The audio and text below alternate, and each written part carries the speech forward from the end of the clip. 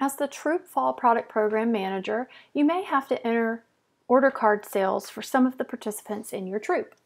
If that is the case, when it's your turn, the system will allow you to click the paper order entry link where you will see a list of girls in your troop. Simply click on the Girl Scouts data row,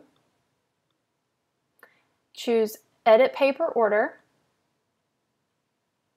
and then enter the products for that Girl Scout by product variety in total units sold. So the cumulative total for each product variety. Her sales total and count will update and then once you click the update button, that information will be saved in the system.